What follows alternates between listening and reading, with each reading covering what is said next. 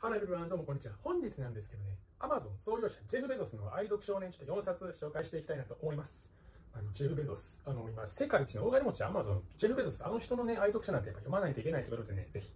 読んでもらいたいなと思います。まず1冊目がこちらです。じゃじゃん。まあ、日の名残っていう、まあ、数尾石黒っていう人の、まあ、小説なんですけど、これどういう本かというとね、アマゾンの創業者ジェフ・ベゾスが1995年ぐらいに、そのインターネットの波が来て、アマゾンを創業しようかしまいか迷ってた時があったんですよ。要はその、あの自分のやりたいことを貫くかみたいな、なでも失敗したら怖いみたいなとことこでことで、まあ、戸惑ってた時があったんですけど、それその時に、まあ、この本に出会ってね、ちょっとアマゾンを創業しようというふうに決心したらしいんですけど、これはどういう本かというとね、あの自分が死ぬ時にいかにその後悔をしてないかっていうことが重要だということをジェフ・ベゾスが気づいた本なんですよ。だから、結局やっぱりやった後悔とやらない後悔ではね、やったらやらない後悔の方が残ると、それをジェフ・ベゾスが気づいて、まあ、アマゾンを創業したっていう話なんですよね。で、この本すごくいい本でね、ノーベル文学賞作家の代表作でもあるので、ちょっとぜひ読んでもらいたいなと思います。2冊目がこちらです。ザ・ゴールっていう本なんですけど、これどういう本かというとね、あの主人公がある機械メーカーの工場長なんですよ。でも、まあ、その、ね、業績が悪くなって、あと3ヶ月で、まあ、倒産仕掛けみたいな感じになるんですけど、まあ、そうするとね、多くの従業員っていうのが、まあ、あの解雇しないと辞めさせなければいけないと。そういう時に、工場の再建をするんですよね。その時にどういうふうに気をつけたら、まあ、会社がうまくいったのかっていうことをね、まあ、紹介してくれてる本でね、ジェフ・ベゾスもこれを参考にしてるみたいなんで、皆さん一度読んでみてはいかがでしょうか。考えの一つにボトルネックっていうのがあって、その、まあ、川が流れてると、ホースとか流れてるんですけど、一つだけその、ちょっと細いところがあるんですよね。っていうことは、その部分だけ水の流れが遅くなるから、ちょっとゆっくりになるんですよ。でも、ここの部分を広げてあげることによって、水の流れが速くなるという考えであったりね、他にもいろんな考えが使えるんでね、ぜひちょっと読んでもらいたいなと思います。で、3冊目はこちら、イノベーションのジレンマ。企業革新が巨大企業を滅ぼすときっていうことなんですけど、まあ、要はね、ま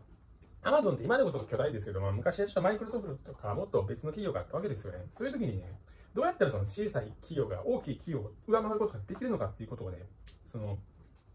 ハーバードビジネススクール教授のクレイトン・ M・ クリステンさんがね、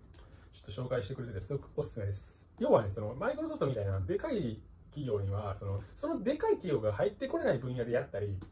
あの小さい市場を全て征服するっていう考えであったりね、まあ、いろんな、この考えっていうのはね、YouTube をやるにしても、ビジネスをやるにしても何をするにしても使えるんで、ね、ちょっとぜひ読んでもらいたいなと思います。で、4冊目はこちらです。データドリブンマーケティングっていう本なんです。で、この本どういう本かというとね、Amazon っていうのはまデータ主義なんですよ。要はその、お客さんが Amazon のアカウントを登録して買うわけですよね。その時に何歳の人が買ったのか、で、その人は他に何を買ってるのかとか、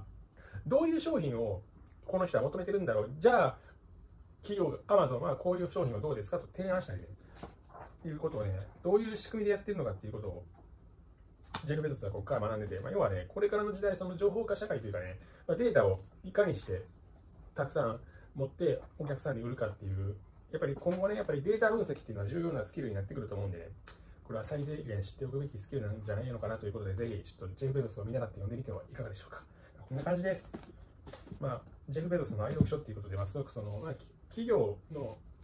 まあ、利益を上げるための、仕事をうまくするためのヒントである本、プラス、まあ、Amazon の創業者ジェフ・ベゾスが、ね、Amazon を創業するに至ったきっかけを作る本を、ちょっと紹介してみました。ぜひ皆さん、この本はね、私の動画下の概要欄にリンク貼っておきますので、ぜひチェックしてみてください。それでは最後まで見てくださってありがとうございました。あとね、よろしかったらチャンネル登録してください。では、じゃあな。